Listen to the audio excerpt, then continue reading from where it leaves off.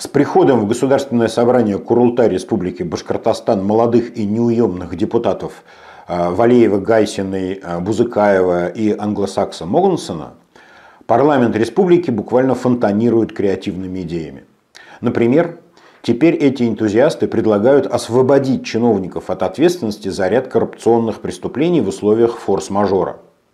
Форс-мажором, кстати говоря, и в том числе предложено считать, например, санкции Запада. Согласитесь, это очень удобно.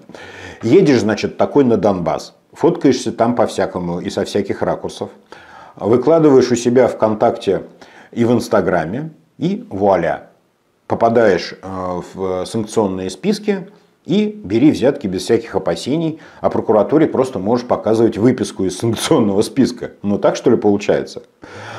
Если вот этот законопроект или вот эта э, законодательная фантазия э, юных дарований в госсобрании э, превратится в настоящий закон, то, э, например, вот Ленаре Ивановой и самому Радию Хабирову уже никакой ФСБ не страшно. Можно загребать средь бела дня. Ну, надеюсь, что этот закон не превратится в закон по-настоящему.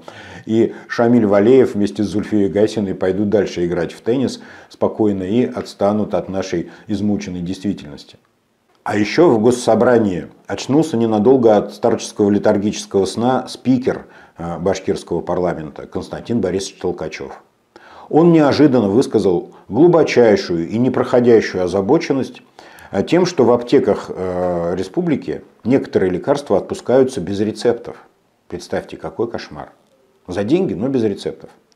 Жаль, конечно, что Константин Борисович нисколько не озаботился тем, что если больной пойдет за рецептом э, к врачу, то очередь к специалисту иной раз может оказаться длиннее жизни самого заболевшего.